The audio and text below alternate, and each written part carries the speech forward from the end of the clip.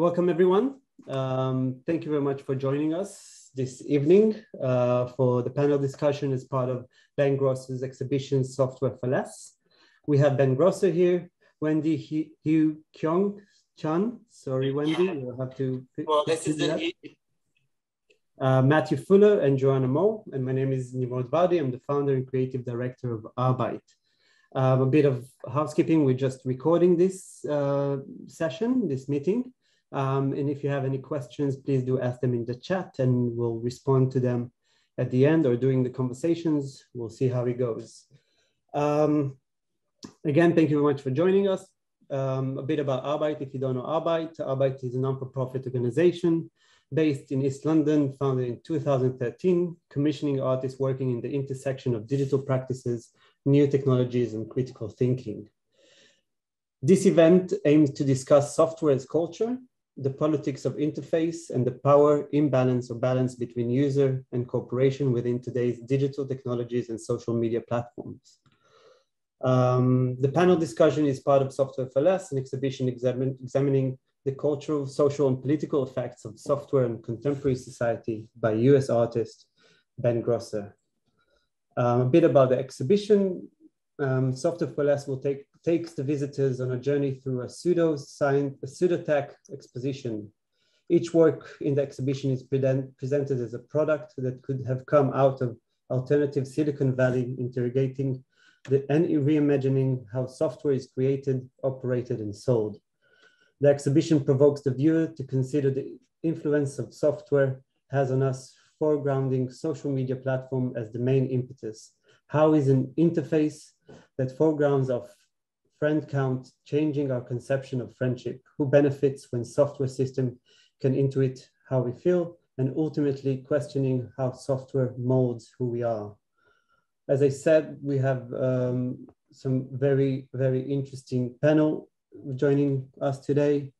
Um, Matthew Fuller is a professor of cultural studies at Goldsmith University of London. Recent book, Investigate, Investigative Aesthetics, Bleak Joys, and Software Studies, a lexicon. He is the co-editor of the journal Computational Culture. Hello, Matthew.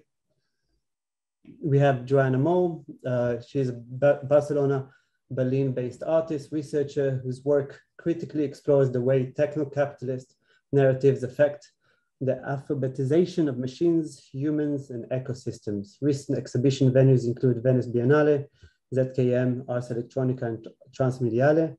Her projects have been featured in the New York Times, Der Spiegel, Wired, Fast Company, and many others.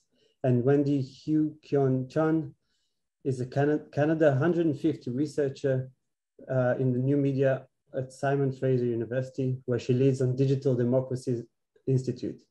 Recent book include Programmed Visions and Updating to Remain the Same. Her book, Discriminating Data, is due to out in November. She is previously the chair of modern culture and media at Brown University. Thank you for joining us. And of course, Ben Grosser focuses, an artist focuses on the cultural effects of software. Recent exhibition venues include the Barbican Center in London, Museum Kunst, Castle House in Berlin, sorry, Museum des Comunigas in Lisbon, and Gallery Charlot in Berlin. His work has been featured in the New Yorker, The Atlantic, The Guardian, and many others. And of course, he got a show with us now at the gallery. Um, Saturday is the last day, and we have an artist talk and a tour. You're all very, very welcome. So thank you all for joining us today, uh, this evening. And Ben, do you want to take it from here?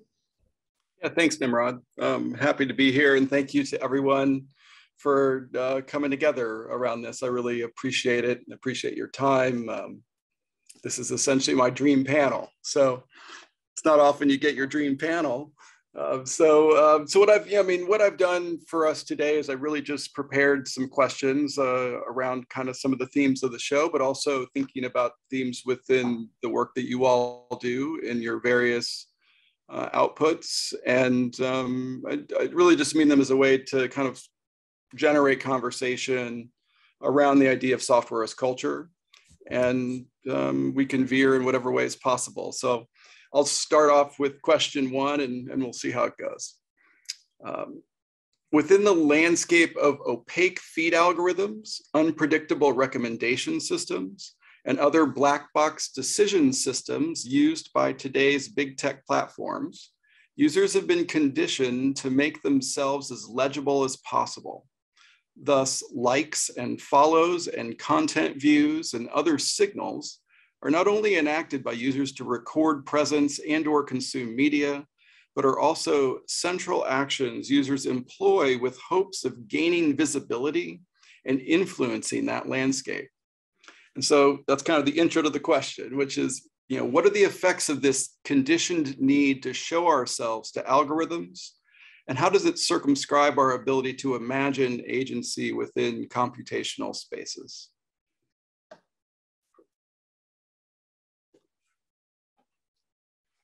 And I'll, I'll let anyone kind of uh, choose to start there.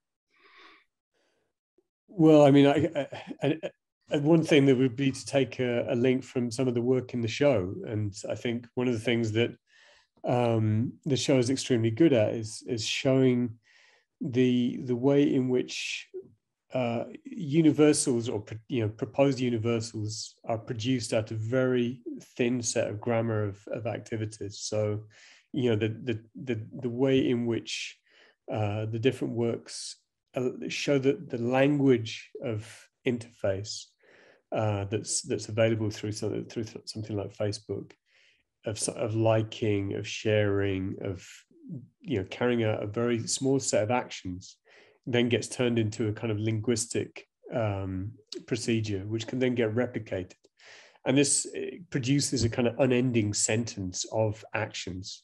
Which are, pro- which are programmatic actions at one level, but they're also linguistic actions that look like social effects and they have social effects. Uh, so what, what's interesting, I think, there is what you show. You show the absurdity of this, uh, of these kind of structures, by taking them at face value.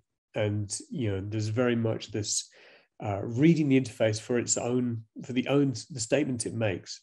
So it's almost as if you were putting Facebook down on the couch and listening to it. What is it? You know, what is it? What is it? What are you saying about your mother, Facebook? Oh, I like my mother and so on. And this is what it can say. And this is its unconscious. And its unconscious is really thin, really brittle, and it's fraying at the edges. It can't contain all that humanity is surging into it. And this is where the problems start. So I'd say one one way is is language.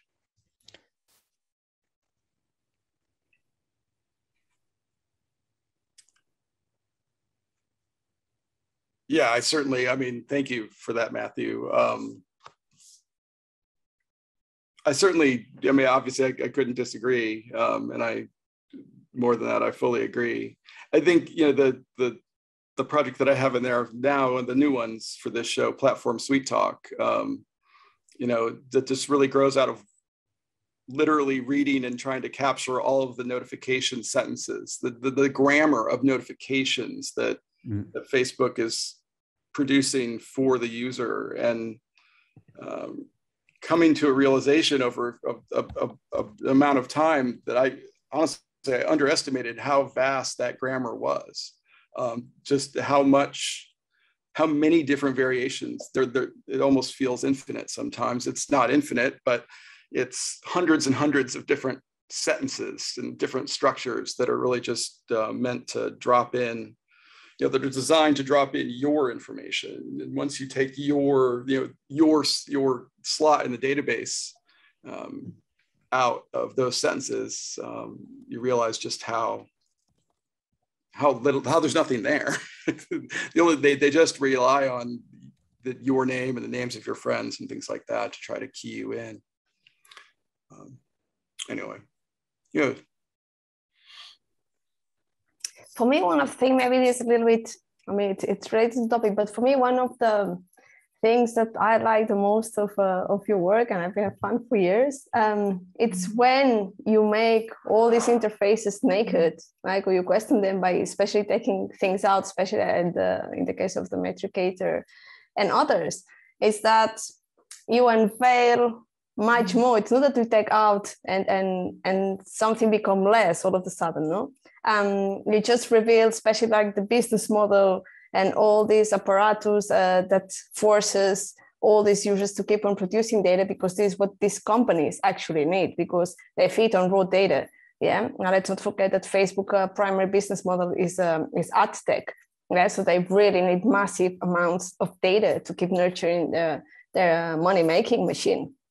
And I think that you do it in a very subtle, not violent way, which I think it's so obvious and it smashes you in the face almost. No, like that's what it is, right? Take the numbers. There is no business model. There is no company, and it's such a small, tiny turn, yeah. And yet it's so powerful, and I really love this about. I think it's something that's very present in all of your works, and I think that's super, really powerful. And for me, it's been a a great inspiration for do a lot of the workshops I do. I mean, related with interface and energy, you know, but following this idea of just modifying a tiny bit just to reveal like a whole world and a whole huge machinery that is super obfuscated behind the, the interface. Um, so I think I'm not sure if this answers your question, just was keeping the conversation. I think it was worth mentioning this. Well, I, I appreciate it. Like I said, it doesn't need to go in, in any particular directions, but you know, it was really part of what I was thinking about is, is this kind of the way in which the designs of these systems uh, encourage us to make ourselves legible. They, they kind of put this burden on the user of like, you just need to tell me more about yourself. Like, if you're not getting what you want from the system, then that's not something we've done poorly. It's that you haven't given us enough. Um, so that's that was part of what I was thinking about with that question. Yeah, and I think that's really key because one thing that these systems demand, and not just these systems, but one can think through the political structure right now, is um, the demand to be authentic. Um, and the idea that one is authentic when one reveals an open secret about oneself, um, when one's inside and outside correspond. Um, and I think that the playing with the internal and the external, or the idea that these two should be conflated, um, is actually really powerful in terms of thinking um, of the ways in which your projects disrupt habit. Um, because what habit does, of course, is take something external, like a, a, notification. This is you start gaining a habit when you have this external notification, but then it becomes internal. Um, so you actually don't need the notification anymore because you've internalized um, the act of liking, looking, etc., cetera, et cetera. Um, and I think that one thing that your work does is to actually keep accentuating the external um, and the, the role the external plays in order to, to move us away from simply internalizing it or to be aware of the ways in which we've internalized it. And I think this larger question of external internal, um, this drive to be quote unquote authentic, um, um, is also something that we can trouble in terms of agency um, when we think of habit seriously as second nature. What, what habit implies and brings out is that humans are fundamentally creative, that we create another form of nature, that um, we're characters, not marionettes. Um, and I think that thinking through that um, is is, one way to get at uh, a fundamental opacity um, that exists even when we're called on to be legible and transparent. Um, I think there's maybe two works in the show, Ben, that does respond. Maybe there's a lot, not maybe there's a lot more works in the show that respond to that, but the two that comes to mind is not for you. Um, with, with the way that it obfuscate the the user and changes the entire TikTok that is um, the, the, the method of TikTok and creating something that is not authentic anymore, that it's not yourself, that it's someone that is not you. It's maybe almost the complete opposite. And then another another work is platform Sweet Talk um, with the notification that it brings and the way they lose the, the user to continue absorb uh, and engage with the platform. It's it's a it's an ongoing relationship that just needs to be, well, I guess similar to order of magnitude in, to an extent, just more and more, and just keeps bringing you into the same um, chamber that you're always stuck within. Um, and of course, there's so many other works in the show and general works of yours that do kind of emphasize on this need of the user and platform relationship, and it's a never ending type of relationship. I think one, one of the things that maybe is uh, something prompted by um, what Wendy said around um, the inside and the outside should correspond within uh, within these systems, and that one should answer to one's true name. You should be registered uh, within your true identity and reveal yourself. You know, the, to confess to the the social media machine.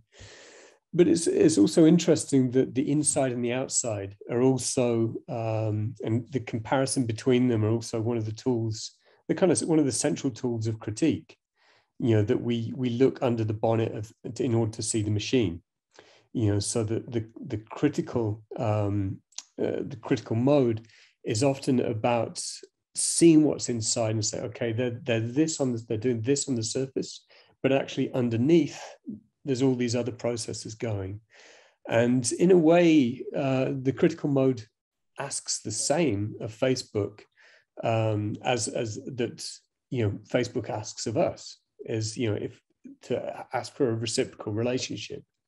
I wonder on the one hand whether there's there's a polit- potential politics there of uh, reciprocal exchange of information, or whether something that Wendy also said with you know there's an opacity, a necessary opacity, which has you know been an absolute part of you know 20th century aesthetics uh, to think of impossibilities of representation.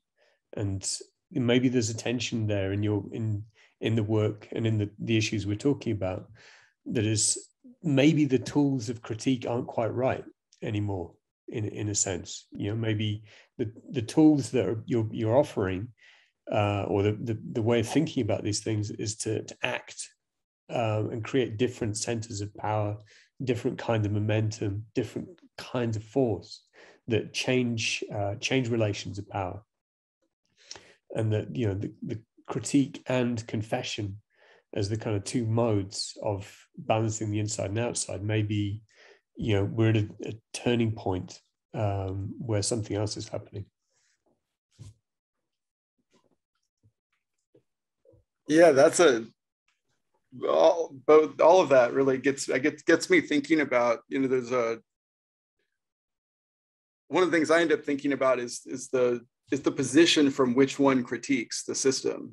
And the the complications that arise I, I, I, suspect joana i mean i know thinking about joana's work i can only imagine this has happened for her too. But it's you know how much you can or how much you're able to critique a system from within that system? Or how much do you have to step outside the system and look at it in order to see it? It's like where do you see it? And i think part of the from from my perspective, part of the complication of uh, being critical of Facebook, being critical of TikTok, is that to understand TikTok is to be lost in TikTok. It's like uh, it's you know it's not that you can't be critical and can't have a strong critical vantage point from outside the system, but there's also something about the affective experience of feeling the the need to flip to the next video of um, feeling that moment when you, in my opinion, buy into the mythology of, of, of its famed uh, AI feed algorithm, that it really gets you. And, and being able to, to then find a, a vantage point. And, and from my perspective, I, you know, I find it both valuable to get lost and, and and really feel the push and pull, the affective push and pull that the systems produce in me through its interface. But um, at the same time, it means I really do get lost in it, and I, and that sometimes means I can't see. Um, it, it's difficult to to know what I'm looking at, and I just really have to muddle my way through it. I don't know if Joana, if that has any. Absolutely, I was thinking like how obsessively you know i'm checking my twitter feed a lot of times and uh, it just like yeah it's a bit uh, schizophrenic a lot of times because indeed i do believe that you have to go really deep into these systems and, and be like a user that's been you know like as you said like really immerse in, into all these platforms in order to be able to criticize them but at the same time i think you also miss a lot of points and you miss you miss perspective in in many ways um, so this process of detaching I think we just detach a little bit because I think that there is a lot that we are unable to see. Like a lot of times, I thought that I've never been in Silicon Valley, for example. I've never been sitting in in an office of somebody working at Google or, or having a coffee with an engineer. That and I think that's something that is also really needed to understand all the culture that is being then uh, sort of put into all the design of, of these platforms. Um, so I think that we can do. I think what Ben, you and I, I think we share, we just detach like we are like we detach a part, we criticize a part of the user, which I think is what we can we can reach.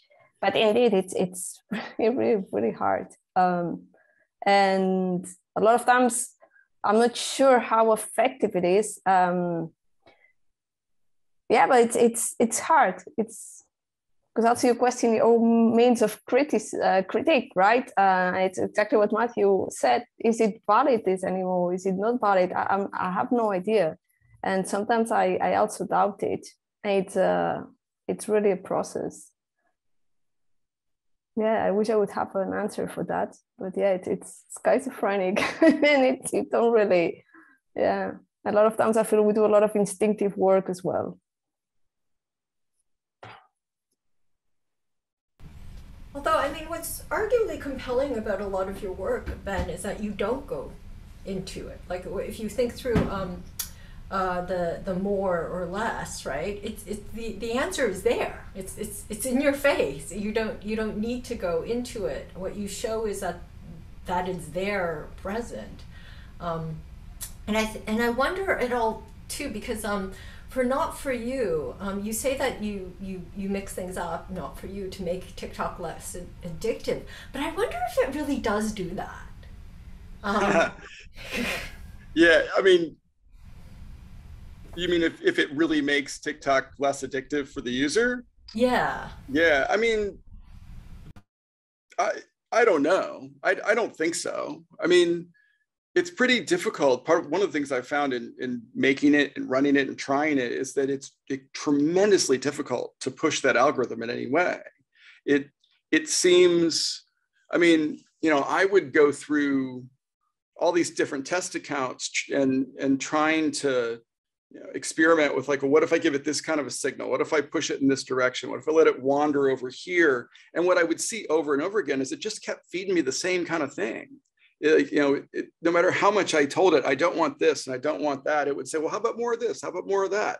I mean, it just, it, this is where I, I honestly think that they have ByteDance, TikTok has benefited from a mythology, like they've allowed, they've generated and allowed a mythology to kind of proliferate through the, through the journalistic discussion of, of their company that, and, and the users um, understanding of it, that they really they, they have the best AI ever that really gets you. And I think really what, what's missing in that critique and where not for you doesn't really address this at all in, in what it in its intervention, which is that it's not that the, the algorithm understands people, it's that the design of the interface and the type of the structure of the content is makes people forget about the things they're not interested in and remember the things they do find interesting. It makes it so easy to flip past. And it also makes it so that the user feels like there's such low cost to trying another video because it's maybe only 15 seconds at most. And even so, I can flip past it if I don't like it.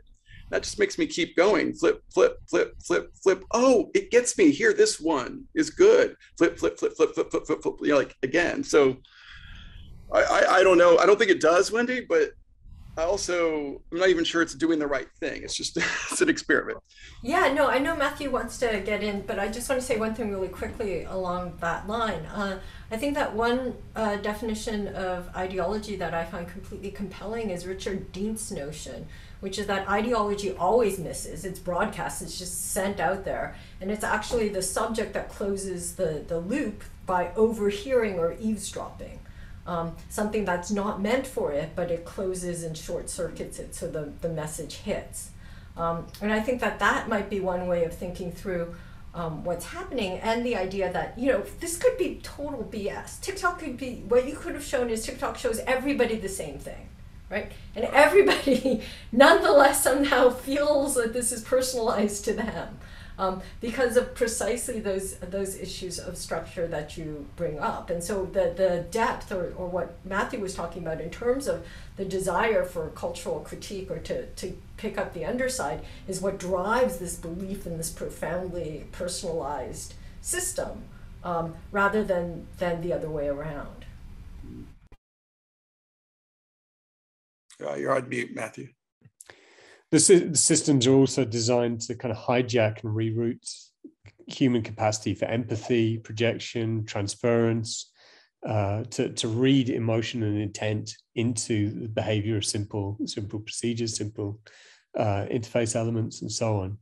And that's that's a really uh, that's a really potent thing. So that, and you know many many systems historically have done this. You know, religions, tarot cards, uh, any kind of oracle system, we we believe it's going to tell us something, and because we we transfer that belief, it is able to tell us something, and so we get something out of the transaction. But what it what it is is um, you know is is debatable in in some way. And we need to learn the skills to read it in a proper in a proper manner. But I, th- I think one of the things that um, both you and Joana do is is really this adding additional machines to these machines. You know, so you're not simply watching and getting befuddled. You know, you're you're kind of rerouting them and making making other compositions out of them. So adding adding assemblages to assemblages, and that's I, I think that's a really interesting um, way of working for the, but that both of you have.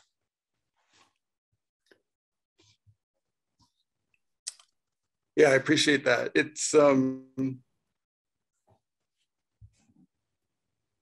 you know, just I guess one reaction I still have to that too is is the way in which there's I'm still puzzling with this a little bit in, in my head as I think about TikTok and its and its role and kind of its place, but the way in which it sets up a system by which the the best way to express creativity within its platform is is is a form of mimicry. I mean, that's kind of what it the that's part of what it sets up is that if you can if you want to be part of this culture, then the way to be be part of this culture is to show that you get it by doing the same thing that everyone else is doing.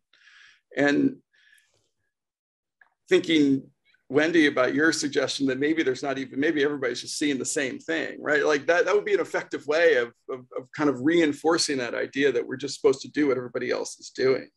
Um, I think it's maybe a little bit more sophisticated than that, and that it, it, feels mostly just like the YouTube algorithm to me, where it's kind of like you watch one cat video, now you get 100,000 cat videos suggested to you. Um, or really maybe you watch one cat video, you get 10, you watch two cat videos, you get 100, you watch three cat videos, you get a thousand, whatever it is. It's not, you know, it's just, it figures out, it's kind of um, uh, characterizes you based on all of the data it's got about everybody else and, and what they've watched previously. Um, maybe it would make sense for me to move to an, another question, unless anybody had a, another thought along those lines. Um, so here's question two. Big tech has normalized the idea that endless growth is unavoidable, speed is desirable, and scale is a requirement for platform success. Yet every platform that conforms to these norms always ends up with a host of problems from the viral spread of mis or disinformation to the amplification of racism to the erosion of democracy to what extent do you see today's platform problems as rooted in Silicon Valley's focus on scale and growth and speed? And what, if any, future opportunities do you see in a return to smaller scale online communities?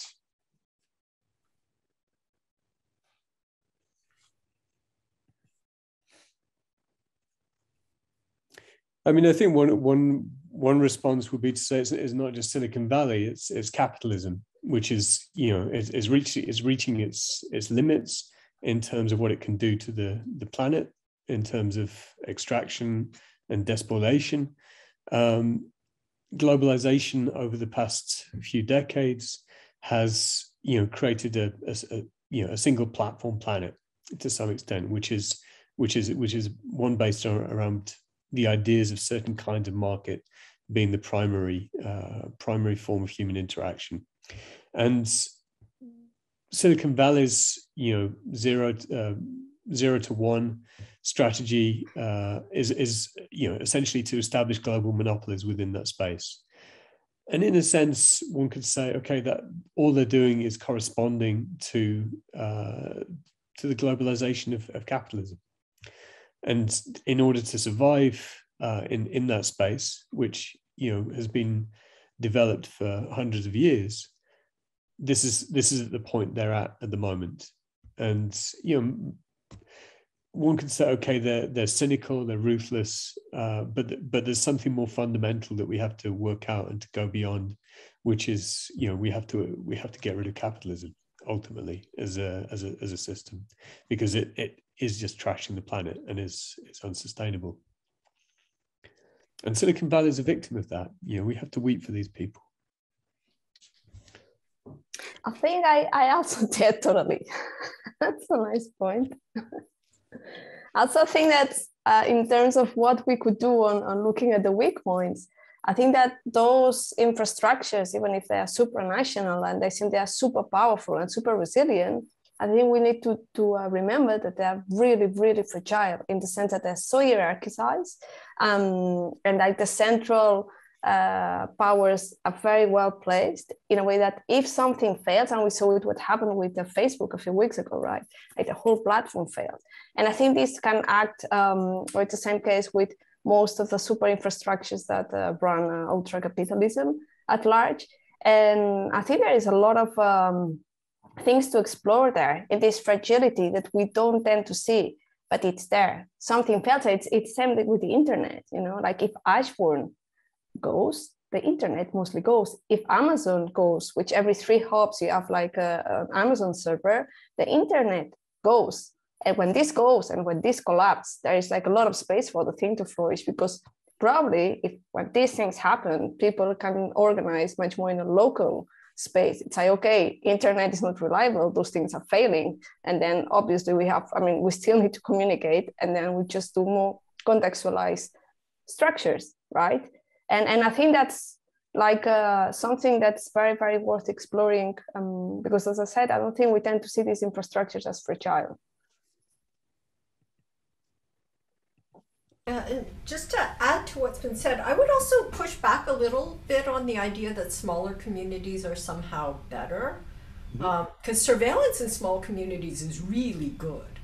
And they, your neighbor knows what you're doing. Um, there's a way in which smaller isn't necessarily better. Um, and I think maybe the way that um, Matthew's framed it in terms of, of capitalism um, is, is one way to, to think through this because I know that, that you've been you've been doing like really great work trying to think through minusing and, and, and, and degrowing and what would that look like and and degrowing is different than making smaller. Because in a capitalist system, you could be degrowing just to maintain the same? Um, and so perhaps one thing uh, is, is thinking through that relationship. Um, and also, what I find so profoundly um, disturbing about the way Silicon Valley is, operates is its mode of organization right? So it's based so a lot of the recommender systems, of course, are, are based on homophily, the notion that similarity breeds connection, right? Which has profound ties in U.S. residential segregation. Um, but so it, what it does is it creates agitated clusters of comforting rage, right? Because there, this homophily is allegedly put in in um, place because it's believed that somehow if you're around people who are like you, you're more comfortable. And what the Facebook leak showed is like when they did that, put you with people like you, friends and families, it got angrier. Like like these people had never spent time in a family vacation or something. Like just completely ignored personal experience. Um, so I think this this mode of organization to create these this anger, which actually makes us more predictable in the sense that when when you're angry or agitated, you're far more likely to be triggered um, and therefore to also take um, these tarot cards, as, as Matthew put it, and understand it as you, right, um, is, is really disturbing. And I think it gets to what Joana has been saying about how fragile they are too, because if it's based on constant agitation and circulation and intensity, um, there's a way in which that can never always work, or that it creates its own um, modes of uh, failure um, that are really important to think through. And I think those modes of failure aren't simply making things smaller, um, but doing something else. Yeah, I certainly appreciate that. I I think I've been the maybe the reason I'm thinking and and put you know could smaller provide some benefit um, is partially based in the in the the monopoly tactics of of Peter Thiel and and and the rest to absorb everything into one system. And of course, as Matthew aptly points out, that's they're they're just doing what the system already set up for them. But there's I often think about there's a way in, in which the the mode of practice in Silicon Valley uh, maybe it's maybe it's just kind of the perfect storm of of the technology enables the co-option of individuals into a, a global whole um, you know one of the things i learned from doing the the the, Zucker, the zuckerberg supercut was you know there, there are these certain numbers that keep going up throughout his history you know, first 15 years of facebook and one of those numbers is the user number. And he keeps citing how many users he has. And it's just going up and up and up until he gets to about 2 billion, at which points, while he still says what number he's at, he starts talking about a different number, which is how many he has left to get. And and you know he really he you know he switches into that mode of like how can he capture the last remaining 6 billion or whatever you know whatever it is. And it's often I, I end up thinking about how the Silicon Valley is always, as, as one example of, of this, this kind of a problem, they, they generate their platforms with a, an all-encompassing focus on scale and growth, getting as big as possible, getting everybody on the platform. And then they start introducing, then that introduces a whole host of problems which you know in the case of what wendy's talking about right it's one of those is that anytime they try to correct and, and go for a local focus as opposed to a global focus it creates all these micro communities of, of rage and allows white supremacy to, to emerge in ways that hadn't done in, in, in, in however long and yet at the same time um, they then introduce i mean they, they they keep introducing things they think are fixing the problems. That's where algorithmic feeds come from. It's like once you get to so many people on a platform then you've got to like you've got too much information for people to focus on and they get frustrated. They can't find what matters to them and so then they say well we'll fix it. We'll make an algorithmic feed. Um, and of course the algorithmic feed then uh, ends up encoding the way they think about what's important versus what anybody else might think is important and, and reinforces a certain way of thinking on to everyone on the platform. Um, I think that's part of what made me think about smaller, and maybe by smaller, I'm simply meaning not everyone all in one place, which is kind of the, the way they think about it. Um, but but I but I appreciate the points, um, and it's uh, the, this this complication between everyone connected and everyone all in one conversation um, i think it's part of what I, was what i've been thinking about.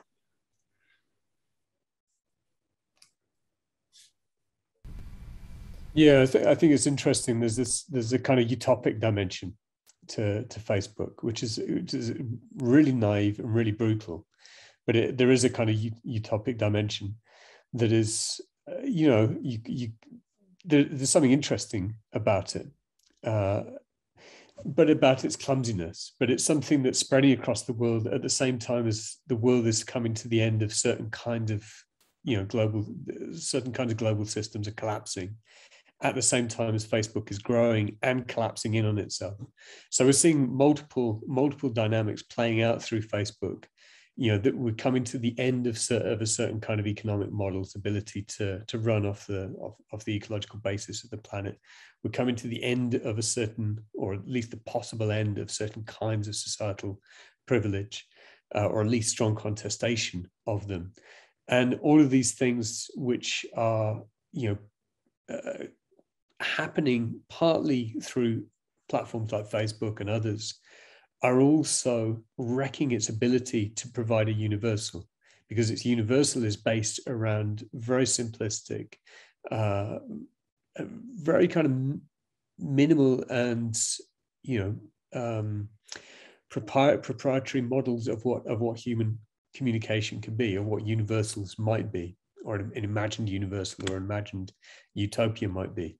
And it's, it's a very interesting collision of multiple kinds of collapse i mean you can see you know if if you know our arebyte is situated in the UK, you can see Brexit, for instance, as one of these these moments of rejection of a certain form of globalization, but that comes in a reactionary mode because that's what's made available to people. And you know, this this we can see is is also something that occurs through uh, through the mechanisms of Facebook and and and others. The Cambridge Analytica scandal being one of the many kind of iterations of this. And so if we see if we see Facebook not simply as, as one entity, but as, as a ground where multiple systems that are emerging, collapsing, grinding against each other are, are articulated and, and bear certain kind of traces at certain moments in certain ways, even at the level of millions of data points or at the level of minute data points, we're, we're able to see a more, a more complex system um, in which Facebook is, is fragile and is, as Joana says, is, is, is, is potentially able to fall apart very fast. Um, you know, remember Geospace or GeoCities or MySpace uh, and so on. Um, you know, maybe maybe in five years' time we'll be thinking of, of, of another system, but it's this this interesting moment of a universal utopia which is being sold back as a service. Uh, what we need to do is rather than sell it as a service, actually you know start instantiating uh, some kind of system that would have more of a utopian dimension. I see the police in the background. In your, in your just one note in this idea of collapse, and just like a very small anecdote that I shared with you uh, when uh, we changed some emails. I'm reading this super interesting book about scaling. Um, and the author, which I can't remember the name, um, says that uh, it's sort of a standard, it's sort of like a law that it, they don't know how it can be proven or how this happens yet, but it happens, it tends to happen, which companies tend to collapse when they reach half million net worth, I half trillion net worth. Um, I'm not sure how far Facebook and all these uh, giant ITs are from that, but um, I think I think it's going to be interesting because I don't think they are so far, and I think it's going to be interesting how they're going to fall, and I think they're going to just be spread in small entities. Uh, I don't know what's going to happen, but uh, yeah, I think we should uh, be aware of that. It'd be very interesting. So you think the best thing to do would be to increase their share price? Absolutely. Let's just feed them as much as we can. Let's just give them all the data, everything, like all our finger movements, anything we can and then we'll see what happens. I mean, I think it could be like a reverse, you know, move because we tend that the protection is to give them less and to subtract our attention and to uh, just go out and again do like something smaller communities. No, we just need to, you know, accelerate their own decay. but we might end up like Nick Land then. Absolutely. Uh, the, the one data point I could add here is that Facebook was the fastest company to achieve a $1 trillion valuation in the history of capitalism, um, 17 years. Um, so they've passed the, we should, we, we should look and see when the half trillion mark happened, and maybe that's 2016 or 2015 or so um, in Facebook's history. Um, maybe I'll move on to the next one here. Uh, so, but just the question was like oh, yeah. the valuation in the market. It was like the, um, the value of all their assets. It's it's the capitalization in the market. Okay, because I think like what it counted the assets actually. Oh, so yeah. yeah. I think that's yeah. what this uh this guy said in this book. Um, all right, so big tech's focus on growth and scale that we've been talking about. Uh, very much from my perspective, is in service of the thing they most seek, which is more. Uh, seems to fit the trillion dollar valuation we've been talking about. So this want is fundamental, driving how their software works, what it does, and what it makes possible or impossible. It's what leads them to engineer features such as visible light counts or algorithmic feeds or endless notifications, because those interface elements all help them gain more users, more data, and thus more profit. One of my ideas behind this exhibition has been to invert their fundamental focus on more by imagining what I call software for less.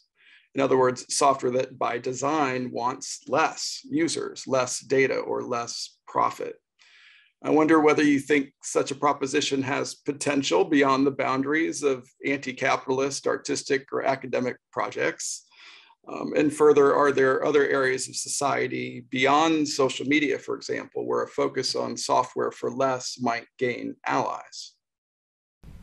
Well, an easy one is global climate change, right? Um, I think that um, the ways in which that demand is, is for less literally, like in terms of electricity, feed, etc. I mean, by quote unquote saving things, we're just destroying the planet um, by putting them on the cloud. But I think there's a different way in which, just from what you said earlier, we can think through a relationship that's productive between global climate change and um, social media. Um, because as you pointed out, um, social media has been always trying to fix its problems, right? The idea is, okay, we've caused this, caused this, so let's try to fix it doing X, Y, and Z. And that's the logic of, of geoengineering, right? So geoengineering is like, okay, well, this is happening, but in order to, we're going to keep the growth going, but we're going to do these things that will have the same kind of impacts that the, the feed changes will have. In other words, it'll make things profoundly worse. Um, and so if there's a way in which we can map out the way the interventions within social media to engineer a solution leading to things that are far worse, um, and link that to, to the promises of geoengineering and the fundamental premise of global climate change acti- activists, which is we just need less. Um, and that's a very profound and, and difficult yet simple message.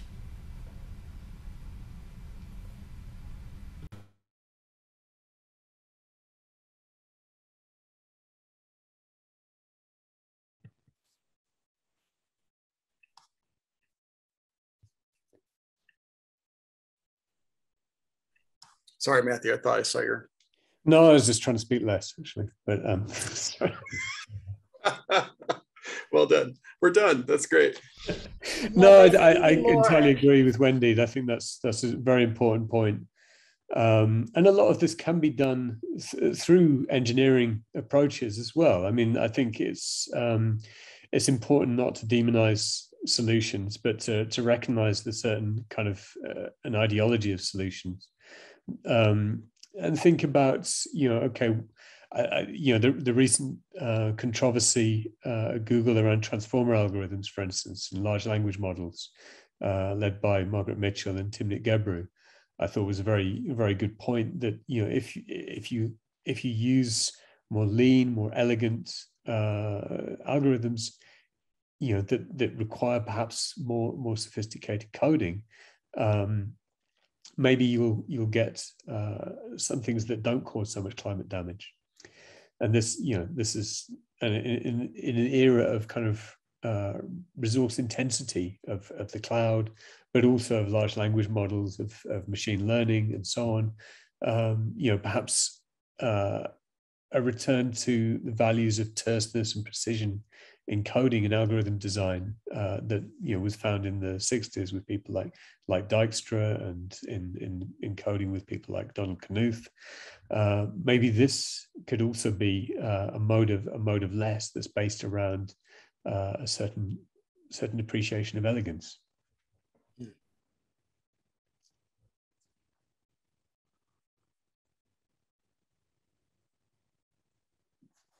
Yeah, in terms of I mean, I, I think I think it's a, a really a really good point. But in terms of applying these methods, um, and I think it happens. It's a bit the same fallacy of um, to produce green technology, um, we need to use a lot of not green technology, right? And what happens with a, a lot of platforms, especially with Google, there's something um, called uh, legacy code or code legacy in English. I'm not really sure, which is like uh, a lot of um, the new platforms are based in very old code that cannot be touched, just like an archaeological you know, layers of code. So to build very simple code, you have also to rely in all this legacy code that's probably it's much more energy intensive what it's built on top right? And and a lot of times i wonder if it's actually possible to undo all this code and start from zero without all these platforms crashing which i think would be a great experiment that maybe that's also a way that capitalist, uh, capitalism would crash right by attaching these layers of code um, but i'm just wondering like how feasible this is actually is to build like really low energy code that's actually as low energy as they say it is, right? I'm just wondering, eh? it's not.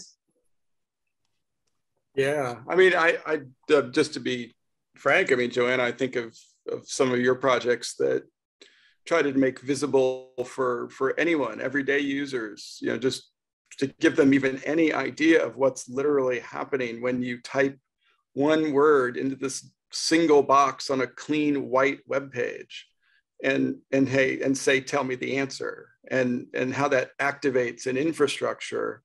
Uh, i mean even how a, an entire infrastructure was activated in the hopes that you might type that word someday in the future uh, so that it could be ready with an answer um, and and every time i show that you know show um you know your your projects to students or or colleagues you know it, it's it's such a a quick way of getting across the vastness that's hidden by the facade of, of the interface. And I think that's part of what I think about with, with the potential for kind of animating people into ideas about less. And I agree with, with, with Wendy and, and Matthew here on the kind of like the environmental movement, the you and, and climate change as climate crisis as the kind of a central uh, focus of, of, of a collection of individuals that are,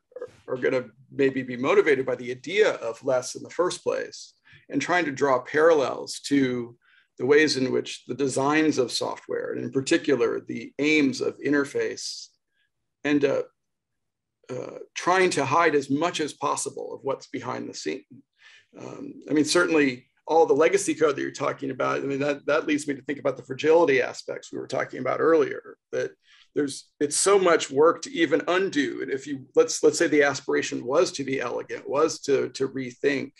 I mean, there's whole books on, you know, what happens when, when software developers and software development companies refactor with the name to like fix all of the old problems that they've inherited. And of course, they just end up rebuilding many of them because it turns out there's a lot of time and effort into debugging that's that's built into that legacy code um, that is maybe no longer visible um, because the people who did that work uh, are moved on to other things or they've forgotten what they did in the first place. Um, so I do, you know, personally, I think anywhere in in the in the various systems we contend with, you know, whether it's a computational system and platforms, whether it's uh, climate systems and, and how our actions are, are influencing them, bringing to the foreground all of the things that are happening under the scenes that are that are trying to make it simple and easy for everyone to do what they're doing without having to think about it is, is part of what I end up thinking about with, with this question.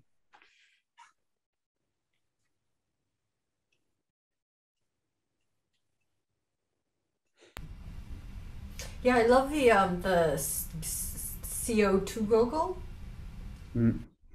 Yeah. Um, and I think that gets to some of the issues that, that we've been thinking through. Um, but then it, it is this interesting use of the the the the the interface itself, right? To to to make it. And I think this gets to the bizarre discussion of us discussing less when, as Matthew pointed out, part of what you all do is do more as artists, right? You know, yes. so it's it's it's the logic of more within an economy of less is what we're moving towards, right?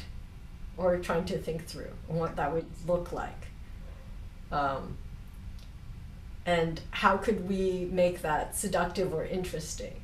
Uh, how could we make it something that is because you know with, with to give to, to give it an entirely different and bizarre analogy um, this whole conversation made me think about dieting, right? And so, like, the, the goal behind dieting is somehow to make less sexy, right? Um, and so in the United States, it's about exercising because you can't possibly consume less, right? This would be a bad thing. So you have to exercise and therefore degrade your body as you're trying to maintain a certain form as you're um, within negotiating these calls both to, to eat more as a sign of love but never gain weight as a sign of love. So, but the but I do think that something about this bizarre negotiation of more and less in terms of our bodies and our habits. Um, again, to get to the question of the habitual, or what would it mean to have the agency? What would it mean to make the the interior and the exterior do something else? I think it might be really interesting to focus it once more on our bodies um, because just you know one of the most compelling things that have been has been written about global climate change and how to deal with global climate change um, is that move from focusing on the mean. This is Jim Hansen's work, right? So Jim Hansen, NASA climate scientist, for the longest time thought if people only knew, right? If people only knew, they would act differently. And then he's like, no, doesn't make a difference. Um, but what he, he says is, is part of it because is because a mean is something very different to experience. You don't experience mean temperature, you experience weather. Um, and one side effect of global climate change are weird weather events. So um, events which are three um, standard deviations from the norm have increased. Um, so his argument is, given the increase of these standard deviations, which people experience as deviations, this can be a way, um, global weirding, um, to understand and comprehend and experience what seems inexperienceable, which is climate. Um, so I wonder if there might be, and again, this is a side effect rather than a direct cause or effect. Um, and I wonder if part of the work is thinking through these side effects um, that are viscerally felt or, or engaged with that can get us towards these other issues precisely because they do so obliquely. Yeah, I think one one of the um, the kind of things that leads on from that is the ability of novel kinds of sensing capacities to understand and to, to register or make sense of um, things like climate damage. You know, so if if Jim Hansen's saying yes, it's difficult for for humans to to understand a mean and to experience a mean. Um, you know, that's that's because we you know we haven't evolved to do that but we can we, we can work with with things like sensors uh, that detect different kinds of gases and temperatures, uh, the presence of certain kinds of chemical compounds, uh, and so on, and then develop this, you know, develop systems to um, understand that data and make it sensible, make it tractable. So, as again, that's another example of adding uh, rather than adding, you know, asking for less, in a sense, and to to expand the domain of the the sensible um, through you know practice of aesthetic sensing and you know i think maybe maybe that's that's something um, that that has a lot of a lot of possibility. But then the question is okay what are the terms by which things are added? What are the things that are made when additions come about? Uh, and there's a very nice uh, part of research in in hacking and, and security research uh, called LangSec, which is language security, and they have a term called uh, weird machines. When when one kind of um, program is attached to another program that may be just a very simple one, like a website, um, and it's, it's, very similar in a way to the work that Ben and Joana are doing that, that adds processes to other processes in order to make them function differently and uh, you know what we one of the things we need to do in some ways is to is to find ways of adding processes to existing systems as they grow and fall apart and collapse that make that make sense of, of, of being alive in different ways but also make uh, you know ecological conditions just uh, for people and for for animals for ecology and so on so this this the thing that Wendy, that Wendy's pointing to, I think, is is really uh, is really important. You know, this this capacity of adding and, and aesthetics of addition that might be at the core of what we're we're looking at.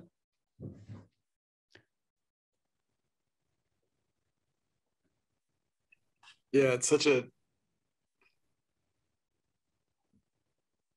we there's our it I loved I love Matthew's answer where he didn't answer right away. I mean, it's like it's so hard to do. It's so hard to just say the best thing I can do for this situation, for this problem in the world is to do nothing. And I mean, collectively, we seem to do that all the time as a society, but um, to do nothing about some of the, the world's worst problems. But the individual way to to participate in culture is to, to participate in society is to contribute which is almost inevitably like I have my way, my additional way of doing something. Um, even you know, in, in my own gestures towards erasure, of course, they take a lot of effort to add in order to make the erasure possible. Um, and, and in fact, even slow things down and, and burn more cycles on CPUs. And, you know, like there, there's no, it, it's very difficult to escape um, as a, uh, just overall, it's, it's difficult to escape that. Um, let me just pause and just see if, before I would uh, kind of keep going, because we're about an 8.30, I want to see, Nimrod, are, are, there questions coming in from YouTube that we should um, be thinking about? Um, th there are a couple of questions, but maybe also trying to again contextualize this question, maybe after that uh, you would like to focus on on minus as as as your kind of suggestion of of removing a lot of the more and a lot of the over I guess over engagement with the platform. Um, so I don't know if you want to talk about that, or do you want me to ask the question that's here?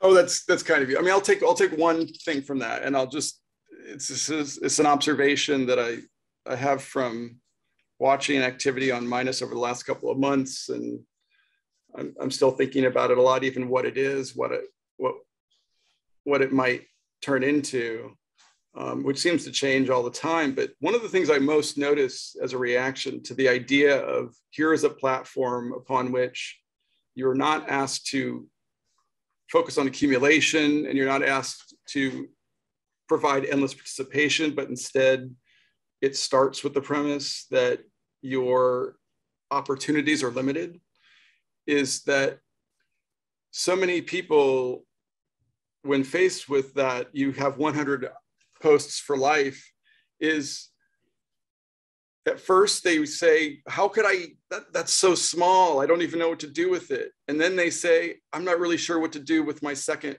post. Like they do number one that complains about the limit. And then they're like, Yeah, I'm not sure what to say now. And I think, you know, it's, it's, it's, it's that when they're faced with the idea that something is limited, all of a sudden they feel um, they feel a weight. They feel like they're supposed to think more deeply about what they do. And then when they're not used to that in the social media space, because that's not how social media is designed. It's designed to animate us into endless production. And so a platform that asks you to limit your production or you know, enforces a limit on production um, ends up stopping some people in their tracks. They don't even know what to do with it. Um, of course, I'm always thinking about who said you had to. Well, here's one thing that happens. Like I've seen this many times, which is people go, okay, well, I think I'm going to live for another 40 years. And so if I divide 40 years by 100 posts, then that gives me one post every 143 days. So here's number one, and I'll see you 143 days. And it, it, it, it reveals the way in which the, the, the platforms have led us to think that they're they're with us forever, um, that that we'll never escape them, and we we need to um, curate our entire lives with the idea that that they'll be with us. Um, so one thing I hope that Minus does, and I think it does for some people, is it at least forces them to have to think about the difference between a platform that wants infinite and a platform that wants limit and and how that gets them to uh, how that reveals the way we were already thinking about what it means to be on a platform that that has no limits or that we think has no limits. Of course they all do but um yeah i don't know. Nimrod do you want to yeah uh, read a question? um, so there's a question from robert good Um, first of all, I loved your exhibition and feel very sympathetic to its perspective.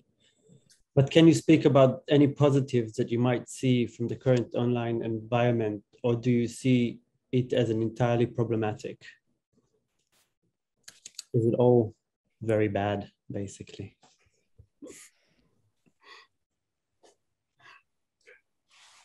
It's a classic. Where's the optimist? Like, what's the optimistic take? Kind of. Um,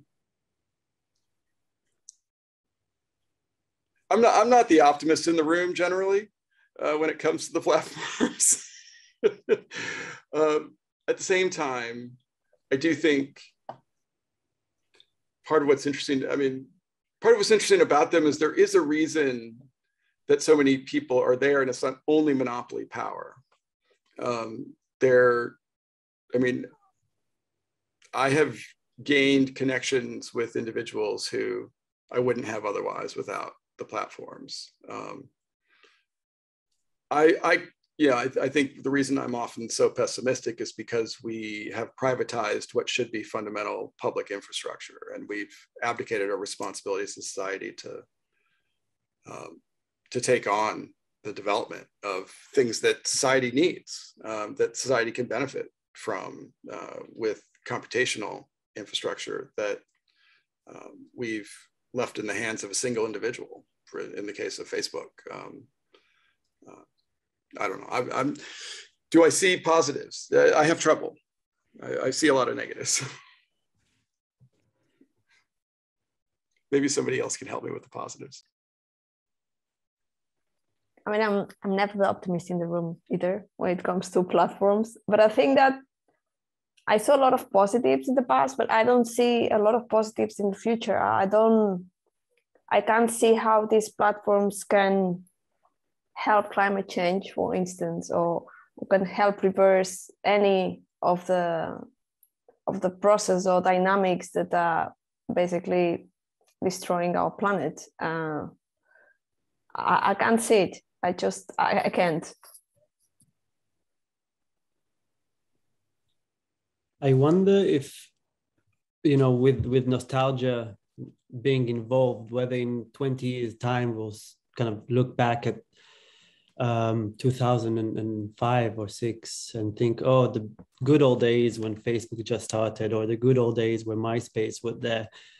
And as the world becomes, I guess, more and more pessimistic, whether this becomes an optimistic point of view then um, but i don't know i don't know how was myspace when it started because i didn't really use it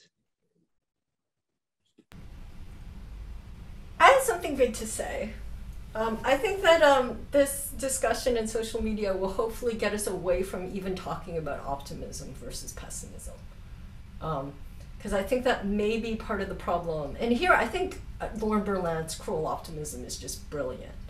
Um, and I also think that, that framing things in terms of being optimistic or pessimistic about a platform um, takes us away from some of the fundamental issues around technology, which isn't should we be optimistic or pessimistic about it, right? And optimism, it, it's fundamental to technologies, right? So if you think of how they literally how these machine learning um, algorithms work, they work through optimization.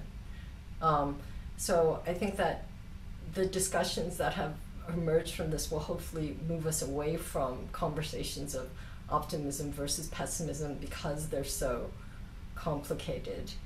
Um, I also think that, uh, well, we could say what else has been interesting about social media. Um, it's brought out painfully clear some of the problems that we face and by making and framing that people are willing to admit to issues around polarization, racism, discrimination, etc., when it's seen through the rubric of social media or some of these algorithms um, in ways that they haven't or wouldn't face them otherwise, right? So they'll say, "Oh, this is a discriminatory algorithm," or "This this is problematic because it does X, Y, and Z," um, but they won't be able, and because it's framed in this way um, more alliances are being able to be made through people from civil rights and civil liberties um, that might not have been possible otherwise, um, except through this this perversion, etc.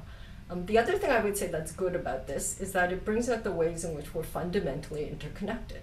There's one way to view it, which is to say that this, these, these are these companies manipulating us, which true. Um, but the other way to view it is that they operate by us constantly being in contact with each other and with each other's signals. So it brings out an, a profound understanding of connectivity, or could bring out a profound understanding of connectivity um, that haven't been there before. Um, one could also say that this idea of limitness is interesting in a system that's fundamentally built on um, the idea of limited resources and conflict. So could there be like ecology? You know, is is kind of a nasty discipline, right? It's the economics of the the natural world, and it's based on competition, and you win when your genes make it to the next generation, whether or not you're miserable. Um, there's a fundamental belief that there are conflict over over everything, like food, etc um, and that this is, is, is a mode of optimization. So, is there a way in which this fake plenitude or imagining of something could be productive in terms of using it to to critique or to think through the limits of, of narratives of limits? Um, is it a good way to, for us to conceptualize and understand the ways in which frontier capitalism has operated through a certain notion of limitlessness uh, inscribed on limits. So I think that they're, they're you know, I, I, I want to go back to the tarot card thing. Like, can we treat this as tarot cards that can actually help us see things and intervene into things and imagine things differently? And that, that, that maybe is what's productive about it. So, you know, Fred Jameson famously said, um, he was talking about somebody else saying it's easier to imagine the end of the world than the end of capitalism, but now what we're imagining is the end of the world as the end of capitalism. So I wonder if there is something about ends and imaginings that's productive through this.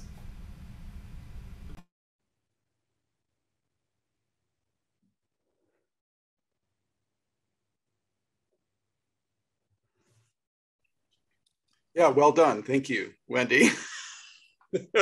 I um, I appreciate that. It's it's uh, it does at least remind me that I I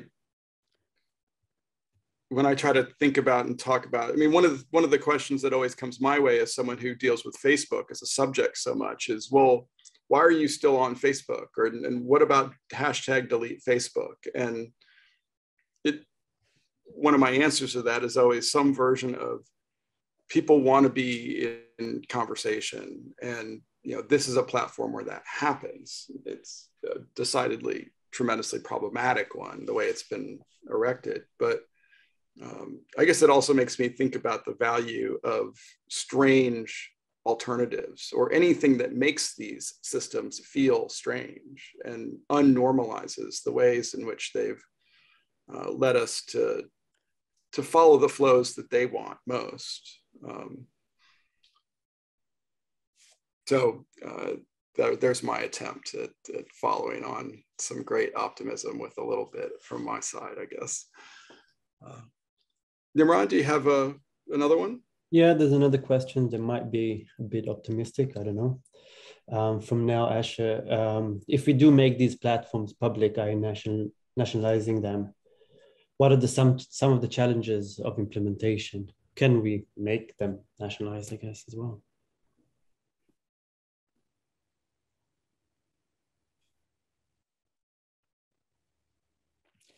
Well, I think uh, nationalization is not the only option, right? I mean, I think there are, there are multi, multiple forms of collectivity that are that are not just about nations, and you know, nations, you know, are, are, are a relatively recent social invention. So I think there are there are ways of inventing other other kinds of social form uh, that that maybe go beyond the corporation, maybe go go beyond the nation, uh, and that that's what we need to be looking into, experimenting with different forms of collectivity, different forms of uh, communication structures that are, that are not simply uh, echoing, you know, the Treaty of Westphalia, for instance, as a as the the basis for human organization.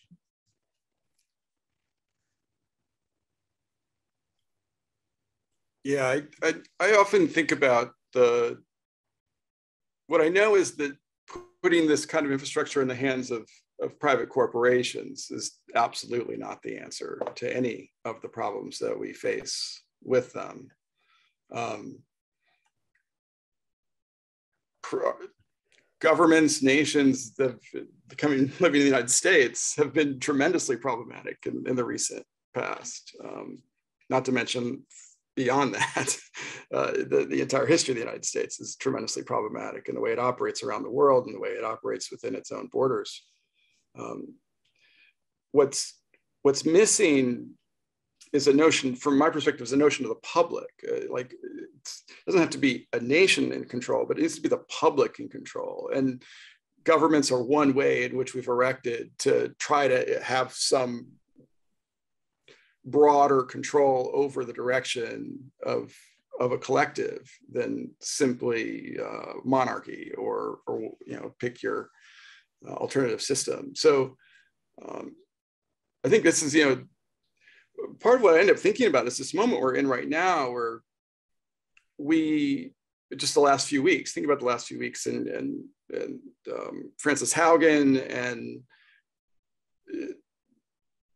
as, as Joana mentioned, kind of like the, the failure of Facebook uh, a few weeks ago, it's revealing fragility. And as someone who interacts with uh, tech journalism, uh, tech journalists uh, as part of my work, watching tech journalists start to speak about uh, and talk about critiques that that many of us have are well familiar with over a, a long period of time. I'm starting to hear uh, people speak uh, things that I wouldn't have ever expected them to maybe be talking about in terms of critiques of of, of some of these technological infrastructures.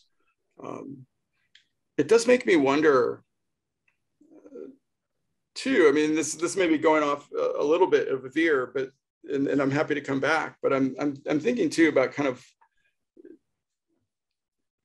what are the what are the opportunities? I mean, we're we're at a moment where there's more awareness and visibility on kind of some of the failures of big tech, for example, and, and the ways in which they're operating in the world. Um, where enough people have have seen some outcome, if it's Brexit in the, in the UK or if it's Trump in the United States, and um, just as a couple of examples, but even more recent, you know, with thinking of, of Instagram and toxicity for for teen girls and, and just the various kind of research findings that have now been leaked out of Facebook that one could have presumed they knew, but now it's it's on record as they did know. Um, it makes me just, I mean, uh, as a question kind of back to the group, what what are some opportunities you might see given this landscape to push push further in, down that road of, of somehow say arguing for a, a, notion of the public in this infrastructure or alternative collective um, accountability structures or auditing, you know, algorithmic auditing or um, anything along those lines. I'm curious kind of what, what you all see as, as possibility. I, th- I, mean, I think all of these things are, are certainly possible and you know desirable. Uh, you know, audit algorithmic audit is is a really good uh, set of techniques that people are developing and you know have been developing for a long a long time. Um, I, I think you know the question of regulation is interesting, but again, it's regulation at multiple levels of interface through you know democracy, which is an extremely clumsy kind of system, and perhaps you know welcomely clumsy in, in some respects. But it's you know th- there are there are multiple kinds of difficulties with all of these uh, with all of these systems as they interact and as they kind of play out various kind of inherited uh, fallibilities that um, I think it's it's it's important not to uh, put too much faith in in any one of them, but the, just to to learn more about the the complex interplays between them, to find out how at a particular moment any any kind of structure can be tilted uh, in some way to to produce new effects, but also to think you know the level of design. What are what are new systems that can be what are new systems that can be built? Who can be brought in? Uh, what kind of social agencies what kind of uh, social capacities can be brought in to develop uh, new kinds of new kinds of system or new kinds of thinking that you know go beyond what what we've got at the moment? So that that that wouldn't fall into the register of an optimism versus uh, pessimism thing. It would be a question of like, okay, uh, you know, we live in extremely difficult times. We have to find some some ways of working through them, and the ways that we work through them have cultural, aesthetic, political, uh, and economic consequences. And let's think about them in, in, a really rich sense.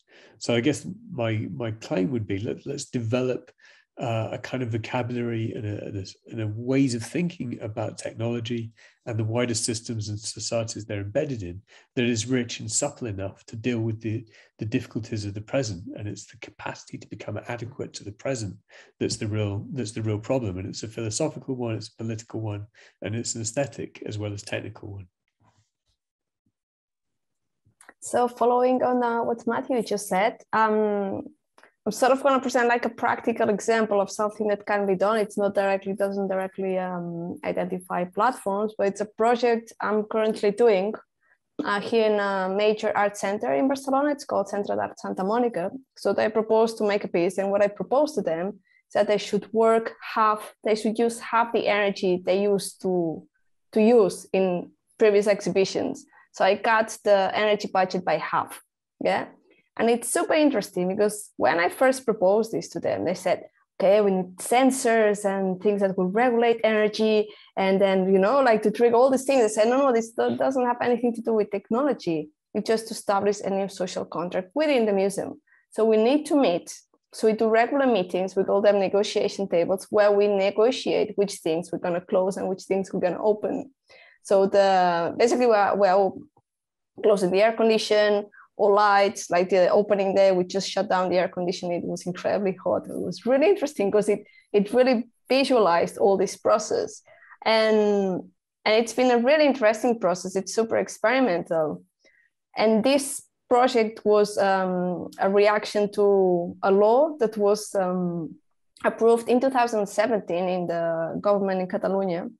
Uh, it's the climate change law, which established like a set of measures in order to reduce half percent the CO2 emissions by 2030. They didn't implement anything. They just implemented one tiny thing today, right?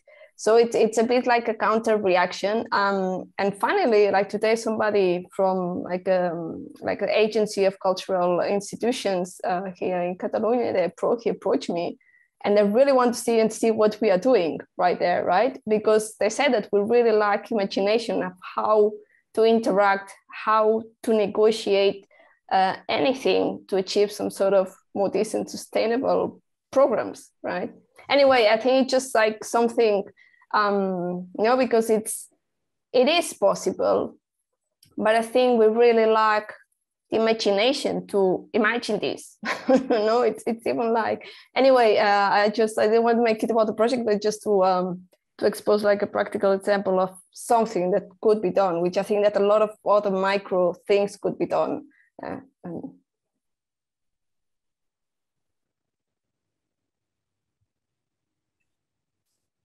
yeah, I, I, one of the things that this gets me thinking about too, you know, the the problems of regulation. There, has been a lot of discussion in the last um, I don't know, a few weeks. I, I, feel like I've been seeing it talking about, you know, along these lines of, of algorithmic auditing and, and shouldn't there, what if there was some kind of visibility on the Facebook newsfeed algorithm, for example? And I've seen people I, um, whose, whose work I followed and, and who I've, I've, you know, had affinity with in the past argue that that's just really not possible, that you know, without having all of the data and all the information, that it's not really possible to audit or to really understand these algorithms. And I feel like, you know, the, the regulation that we need is, is for some version of enforced transparency that we don't have to know exactly how the Facebook algorithm I don't I don't have to be an expert in the Facebook algorithm. What I need is for the Facebook algorithm to be visible to the world, and then I, I feel fairly certain that someone who gets it will at least start to glean some information from it. Um, whereas if we ask governments to somehow determine exactly how a newsfeed algorithm should work or what it should be able to preference and not preference, that it's uh, that's something they're not equipped to do. Um, so it's really more for me. It's more about the potential for for visibility and, and transparency on on what the companies have been able so far to rely on, which is proprietary and and and private and um, thus trade secret. And so you have no legal avenue to to investigate.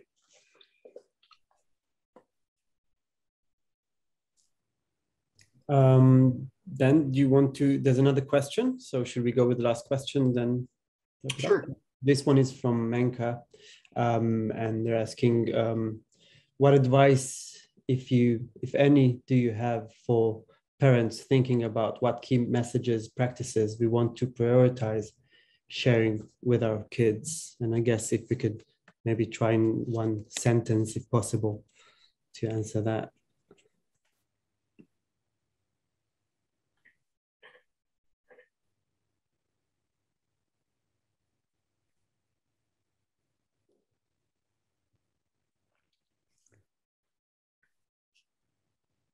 Well, I, I, probably can't answer any question in one sentence, but, um, and I don't have children, but uh, one thing I, I do note, note is how many of the people who build Silicon Valley technologies, for example, who do have children, um, don't let their children use the technologies they build. And that I think that's in a pretty important clue as to how profoundly they already understand the effects of, of what they build to be. Um, and so whatever whatever conversation one might have in that arena, I would suggest it needs to include some discussion of the things I often think about, which is who is this technology for? And, and you know, who does it make most vulnerable? Uh, you know, who does it make? Who is it? Who is it do the most for? And who's it do the least for? Uh, and often, the person made most vulnerable by these systems are those who use them, and the people who benefit the most from them are those who built them. Yeah, I would also say that there's there's a lot of good thinking around uh, children and computer use that's been around for you know several decades. I mean, I think one of the one of the things we can look at is the work that comes out of uh, constructivist psychology, the people that follow from Vygotsky and, and others uh, that look at how um, the more a child can can learn to develop complex uh, interactions with the, with the materials and to shape the, the scope and range and uh, structure of their interaction with the technology, whether it's you know mud or code or uh, paint or other kind of environment, whether it's a, a city space, uh, the more valuable and rich their interaction can be. And I think that's that's something that we can we can look at as a way of, of thinking about it. I, you know, I'm certainly not one of the people who would prohibit children from engaging with uh, with with computers, but really to look for those spaces with with computers that uh, reward kind of rich engagement that that is um, articulated on multiple levels. you can think of kind of the early stages of Minecraft, for instance, as uh, an environment that did that, that would would be interactive as a game space, that was visual, that was social, uh, but it also allowed you to code, to build spaces, to make Turing complete objects uh, and so on. So it was, it was, a very, very complex and uh, interesting, but it engage an environment that would engage you at a number of levels, yet not uh, colonize you with social anxieties, which I think a lot of social media does. So it's something that gives you expressive capacity and expands your your world, uh, to use a kind of corny phrase, but that doesn't then recode your nervous system into something dependent upon its services.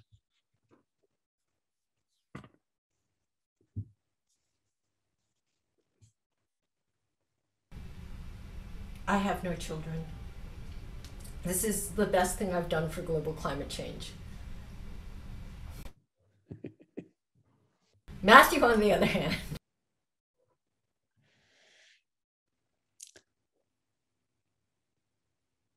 Um, Joana, did you have any thoughts? Yeah, because I do have children. Eh? I have one, one. That's it. We're staying here for the sake of uh, climate. No, I really agree with Matthew. I don't think I, I can add anything uh, further on. There is um, several uh, sort of alternative uh, video games that they are much more about exploration. There is a wonderful um, Canadian um, studio that uh, does uh, amazing stuff. Uh, I can't remember the name. so bad with names. Um, uh, end of tales, tales of I don't know. Anyway, I can put it in the chat if I remember, uh, which is wonderful. There is also this Brazilian, Italio Brazilian um, studio called Molleindustria that they do a lot of uh, incredible games. Also, they're also quite critique um, so I think there is a lot of very good materials out there. And it just uh, exactly what Matthew um, just said, right? Something that doesn't just uh, colonize you with anxiety and uh, and with modes um, or more role models that they're not yours and, and you don't identify with and, and they generate a lot of anxiety because you don't fulfill this, right? Which I think it's very, very easy to fall in in this area. So yeah, I mean, they're not mainstream, but there is a lot of materials out there. Yeah, I, am thinking a little bit further too. You know, from my perspective, the one of the things that led me to play with and have so much fun with computers when I first started doing that was the ability to manipulate and experiment. And the does, you know Silicon Valley is all about producing interfaces, systems, platforms that are about consumption and prescribed interaction. And even if you're going to be on a social media platform, which I think you know, has potential problems in terms of the things Matthew was talking about, there's still a there is opportunity to to look at what that platform wants from from you and to then use that as a place from which to work against or to to to experiment um, to not just take these systems the way they are, but to, to play in them, um, to experiment. And they don't really want that. They want you to do something that is predictable. Uh, so maybe the, the one sentence would be, be unpredictable.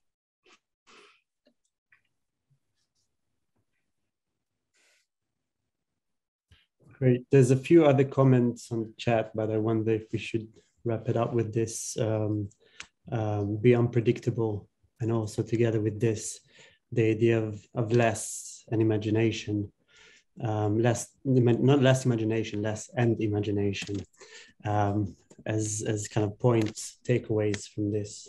Um, just want to say again that on Saturday, there's Ben will be in the gallery giving a talk and a tour about the exhibition. It will be the last day.